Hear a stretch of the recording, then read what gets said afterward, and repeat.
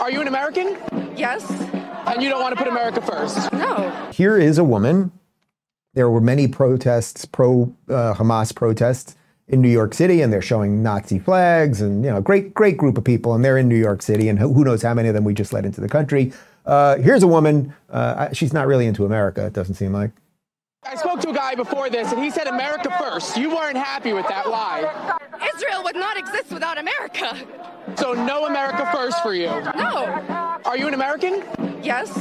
And you don't want to put America first? No. No, America first for her. Uh, the idea that Israel would not exist without America is also not true. When the British Empire ended in 1948, they left. The British left, and then there was just land there, right?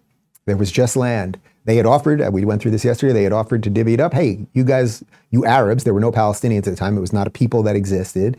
You Arabs will get some. There was a, the 1947 UN partition plan.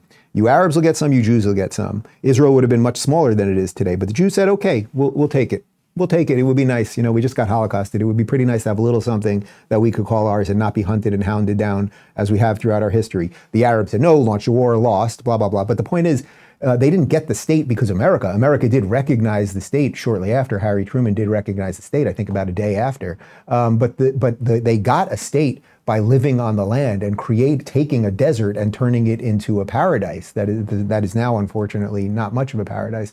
Uh, but these protesters. And they're, they're telling you who they are, right? Like they're telling you, they're telling you, we sympathize with people who murder babies and everything else. And at what point I don't know exactly what the point is now, and I think we're going to really have to rethink this. And I and I as a look, I was put on the map in large part as a, as a free speech advocate, right? Someone that was fighting for free speech.